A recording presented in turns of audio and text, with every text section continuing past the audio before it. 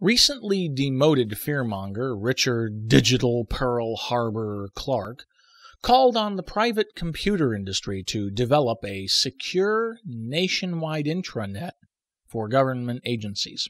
Clarke also said the private sector would build the intranet to be called GovNet and lease it back to the government in exchange for a service fee.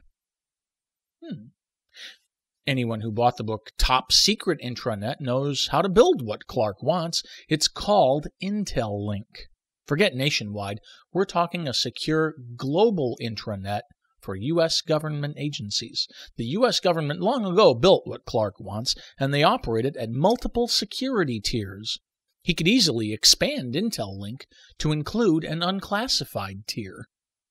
Instead, Clarke wants the computer industry to reinvent the wheel.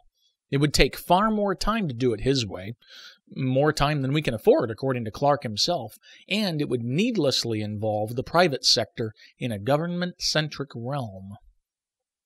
Clarke claims to know all of the classified details about Osama bin Virus, yet he doesn't have a clue about the Intelink connected computers in his own office. Ignorant political appointees make some of the best fearmongers. I'm Rob Rosenberger for vMyths. That's V M Y T H S dot com. Truth about computer virus hysteria. Be there or be scared.